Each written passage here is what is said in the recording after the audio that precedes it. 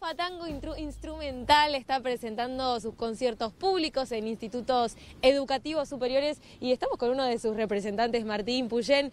¡Qué belleza ese bandoneón! ¡Por Dios! ¿De cuándo es? Eh, mira, no me acuerdo el año, pero son se fabricaron hasta el año 39. Sí. Hermosísimo.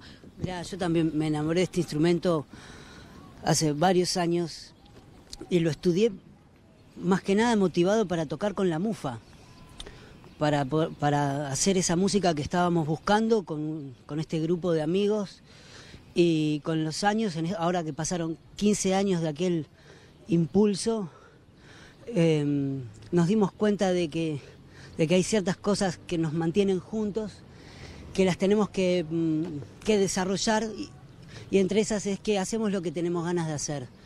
No tenemos a nadie encima, no tiene un dueño.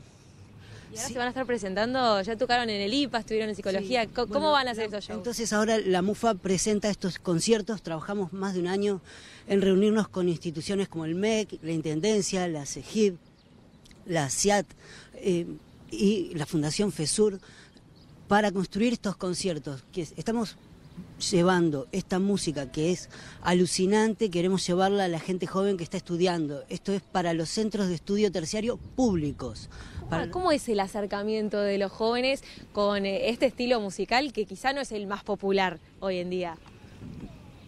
Eh, mira, es una música que como nosotros entendemos que está viva, es una música que la podemos tocar según lo que queremos hoy en día y se toca con se toca de verdad, se toca con, con intención de decir lo que nos pasa y eso a la gente joven la atrae y esa es la fuerza del tango que, que, que, sí capta el interés de la gente de todas las edades y de todos los países del mundo.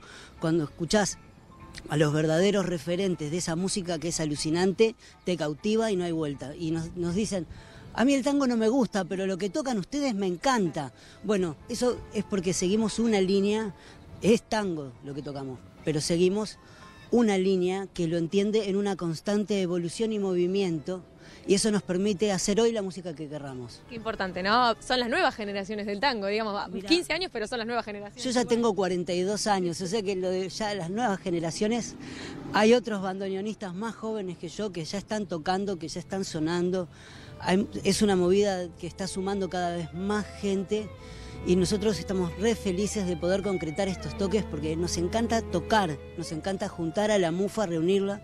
Este, una, maravilla. Yo ya, ya, lo vamos a escuchar un poquito a Martín, que, que, es una bestia del bandoneón, pero vamos a hacer la invitación. Mañana, 24 de septiembre, van a estar en la Facultad de Comunicación y 25 de septiembre en Arquitectura, así que están todos invitados, espectáculos públicos de la Mufa Tango Instrumental. Y nos, nos haces un cierre musical, por favor les voy a mostrar el acorde con el que estoy enloquecido y el que estoy estudiando ahora, que es mi bemol séptima.